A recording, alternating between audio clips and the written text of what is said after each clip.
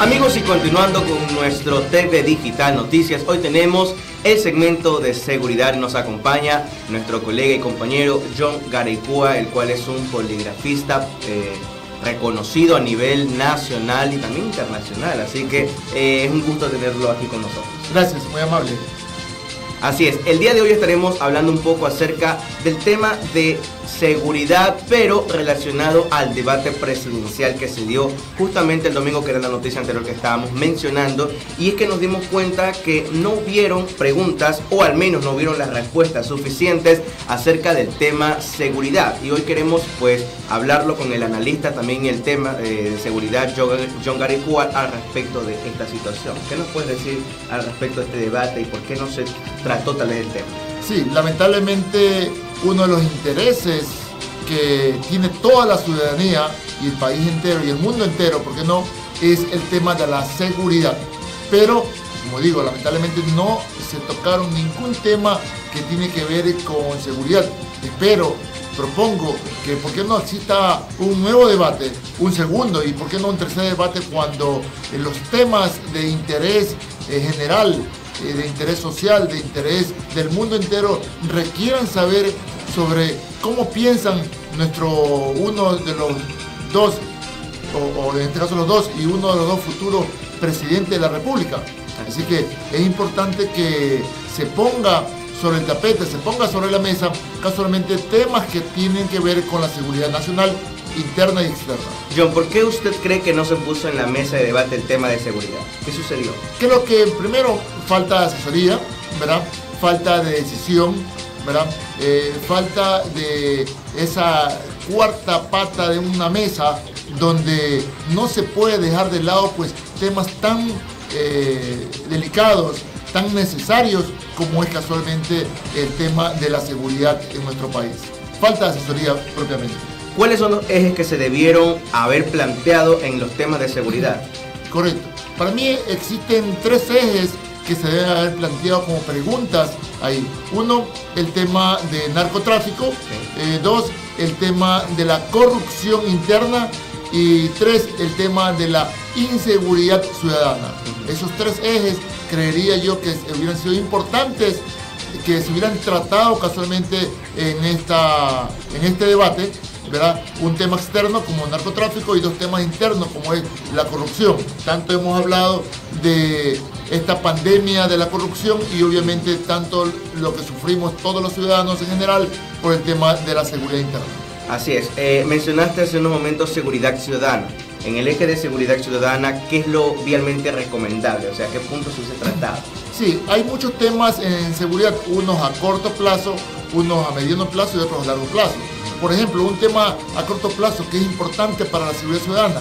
Usted y yo, cuando eh, estamos eh, siendo víctimas de un asalto o estamos viendo un asalto, ¿qué, podemos hacer? ¿Cuál es su accionar? Lo único que tiene es llamar telefónicamente al 911, ¿verdad? Pero lamentablemente no hay otra opción. Así como en la ciudad y en el país existen miles de cámaras, estas miles de cámaras las podemos eh, multiplicar y ser millones de cámaras. ¿Cómo? Todos los ciudadanos tenemos nuestro celular y podemos transmitir en vivo lo que esté sucediendo, dónde, cómo, cuándo y por qué. Y en este caso, el 911 debe de recibir mediante una llamada, mediante un número, todo lo que está pasando. ¿Qué quiere decir esto? Que todos los ciudadanos nos vamos a cuidar. El tema es, eh, hay que trabajar mucho en prevención y saber que un ciudadano me esté y me pueda filmar y pueda subir directamente, no solamente lo que pasa actualmente, ah, se eh, difundió en redes sociales, se viralizó en redes sociales, es un tema informal. Si yo estoy viendo un accidente de tránsito, una situación en contra de la ciudad, una situación en contra del país, un acto delictivo, yo, inclusive un acto al interior en una familia. ¿Qué tal si una, una mujer está siendo atacada en ese momento y puede subir de manera directa el video, por lo menos lo que alcance a grabar, de lo que esté sucediendo dentro de la casa? Muchos asesinatos, violaciones y ahora último, decapitaciones dentro de un domicilio se han dado y que resulta que aquí se puede estar cometiendo un delito afuera pasa la policía y la policía no va a detectar eso allí. En otras palabras, puede que no sea culpa ni de la policía, porque no lo está detectando el patrullero de ronda. Pero si yo puedo en ese momento grabar y subir de manera directa, el 911 va a saber mi número, mi ubicación, mi situación y va a tomar acción sobre eso. Así es. Eso en referencia a seguridad Eh, ciudadana. eh, así es. Ahora, en el eje anticorru- en el eje anticorrupción, ¿qué es lo que se recomienda? Y en el tema de seguridad ciudadana hay múltles recomendaciones, es. obviamente. Por- por factor tiempo, así vamos es. a anticorrupción. Efectivamente, el tema anticorrupción, que es la peor pandemia que estamos pasando de hace décadas, ¿ok? ¿Qué debemos hacer? Obviamente que todos los contratos que firmen, tanto de autoridad a, de, en este caso, de contratante a contratista, debe tener la cláusula de que no tiene por qué darse comisión en lo absoluto. Cualquier funcionario público que vaya, que vaya a ocupar un espacio público debe tener la cláusula, que ya la sabemos, pero debe estar tácita para qué. Le voy a decir para qué. Debe decir, no tiene por qué dar ningún tipo de coima por eh, usted ser eh, eh, beneficiario de tal puesto eh, público, jueces, fiscales y así todos los puestos. No tiene por qué dar dinero. Ante esto se pueda investigar, se pueda hacer una auditoría, se pueden hacer todos los sistemas y, ¿por qué no?, hasta el uso del polígrafo al contratante y al contratista para saber si han dado dinero. Y así como hay múltiples recomendaciones, me salto a una recomendación que, así como actualmente usted escucha a los dos candidatos con nuevas canciones, ¿ok? Con nuevas canciones motivando eh, el perfil de cada uno de ellos. Asimismo, ¿por qué no hacen un himno de anticorrupción? El himno que motive o desmotive, dependiendo de, de la letra que sea, desmotive el cometimiento de actos de corrupción. Nadie habla de actos de corrupción, nadie dice cómo combatir, solamente dice combatiremos la corrupción.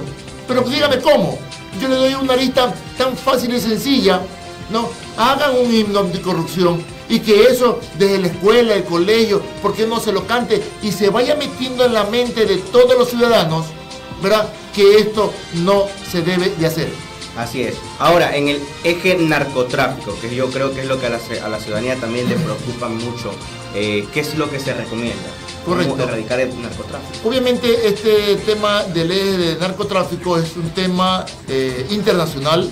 Obvia- obviamente aquí la policía tiene que apoyarse con las policías amigas, con las policías involucradas, ¿por qué no? La policía colombiana, mexicana, americana, peruana, ¿ok? Entonces eh, hay que hacer un gran eje para de manera eh, mancomunada, pero de manera internacional, se puedan establecer eh, nuevos mecanismos para el debido control. Entonces, esto no es un tema solamente del Ecuador, es una seguridad externa que habrá que sentarse a trabajar con los políticos de varios países y con la policía de varios países. Así es, acaba de mencionar sentarse a trabajar. Yo le pregunto a usted, como experto en seguridad, ¿estaría usted dispuesto a realizar una entrevista o realizar un pequeño debate entre los dos presidentes y que se pueda traer este tema de seguridad a, ref- a- a la mesa frente a ellos? Sí, ya en dos elecciones anteriores lo he hecho. Hace cuatro años lo hice eh, eh, la- la- las primeras entrevistas solamente de seguridad a los candidatos presidenciales hace cuatro años. Hace dos años también hice las entrevistas en temas solamente de seguridad a los alcaldes, candidatos a alcaldes de Guayaquil, incluida eh, la abogada Cintia Vitelli, ¿verdad? Entonces, eh, será importante eh, que en un determinado programa, y los invito públicamente a que acepten la invitación, porque ya lo hemos, lo hemos hecho, inclusive por medio de este mismo canal TV Digital, lo hemos hecho con los otros dos candidatos en, eh, la, elección, en la eh, etapa anterior, o sea, en la primera vuelta. La primera vuelta. Ahora que están solo los dos en esta segunda vuelta, pues nuevamente se han extendido las invitaciones para hablar casualmente de temas que tienen que ver solo con la S de seguridad. Así es, trataremos pues de hacer todas las gestiones posibles para hacer esa entrevista. Creo que a la, a la ciudadanía le interesaría mucho sobre el tema de seguridad. Ahora, como criminólogo, ¿qué perfil le merece usted eh, la participación de ambos candidatos? Bueno, eh, yo en ese sentido tengo mucho que criticar, ¿verdad? Porque traer, se puso en colación, eh, diría, términos, epítetos o, o palabritas que no vienen al caso, pues, ¿no? yo te puedo decir a ti, eh, flaco, ¿qué dice flaco? ¿Qué te puedo decir? eh, ¿Qué dice eh, mi gordo panzón? ¿No? ¿Qué te puedo decir? mi mi, cachuflín. ¿Ya? Si en algún momento se dijo el gordita horrorosa, es un inclusive diminutivo, un apelativo, una frase que es responsabilidad exclusiva de, la persona que lo dijo. Así es. Exclusiva, es una forma de decir. ¿Cuántas veces nosotros en nuestro argot eh, nacional, popular, y por qué no guayaco, decimos, oye flaco, oye tal cosa? O sea, no es eh, eh, malo, no es un insulto, es un apelativo y tiene que dar eso como apelativo. Claro, porque ¿verdad? uno de los candidatos trató de entender que eso significaba violencia Así hacia la ¿En mujer. qué momento violencia? Obviamente, cuando habló también del tema que cuando salía del estadio hubo una agresión, sí, es lamentable que se haya dado esa agresión, pero eso no es culpa del otro candidato, pues. No es culpa. Es una. ah, Es más, pudo haber estado hasta en el estadio. Eso no quiere decir que sea culpa. Eso fue una decisión eh, de, de los ciudadanos, de los espectadores que estaban ahí. O sea, hay que tomar las cosas como tienen que ser.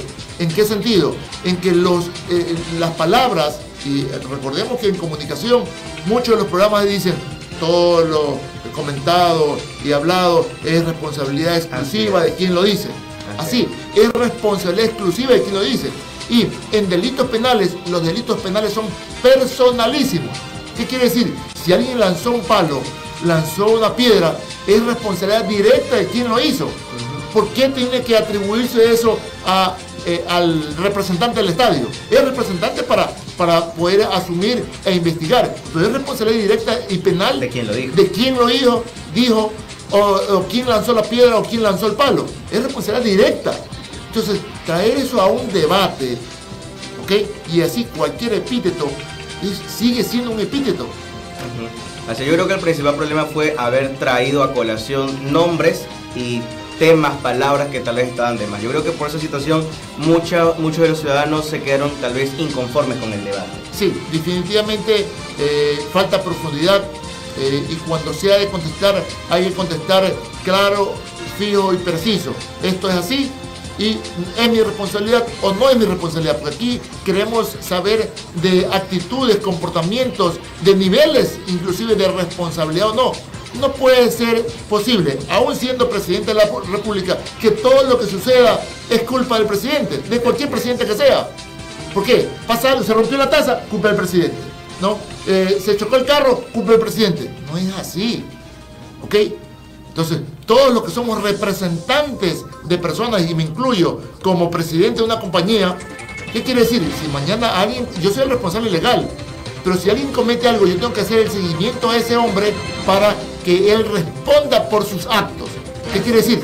Cada uno tiene que responder por sus actos y no metamos ahora, en, eh, en este tiempo, todo como una fanesca y decir que todo es culpa del presidente. Así es. Cualquiera Entonces, que sea. Que apostamos por que se pueda dar un nuevo debate, ¿verdad? Para Así es. que así el país pueda eh, tal vez ver un debate como se debe, con las propuestas claras, respondiendo a las preguntas de forma correcta y principalmente trayendo a mesa de debate el tema de seguridad. Inclusive, y, y termino con esto, porque cuando no contestaban las preguntas y contestaban otra cosa, el moderador o moderadora nunca hizo un punto de orden Así es. en solicitar, por favor, contesten lo que se les está preguntando. Porque tú me puedes hacer una pregunta y yo puedo contestar lo que me da la gana. Entonces, ¿para qué me haces tú la pregunta si yo voy a contestar lo que me da la gana? Así es.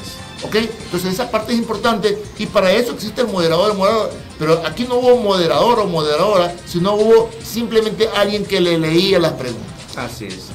Es lamentable ver esa situación. Esperemos que otro debate se pueda dar, que los candidatos estén dispuestos. Una vez más se les hace la invitación pública aquí en TV Digital para que puedan compartir con nosotros, porque sí quisiéramos que se, tra- se trate el tema de seguridad. Así que está la invitación abierta y vamos a ver si nos Y doy mi número de teléfono, siempre a la orden, John Garecoa, mi número celular 0997 500 500. Teléfono, repito, de celular y WhatsApp 97 500 500, siempre a la orden. Así es, bueno, quedan muchas preguntas en el tintero, pero en otra ocasión estaremos hablando sobre más seguridad. John, gracias por acompañarnos el día de hoy. Nos vamos a una pausa y al regresar seguiremos con más información. Esto es TV Digital Noticias. No se desconecten.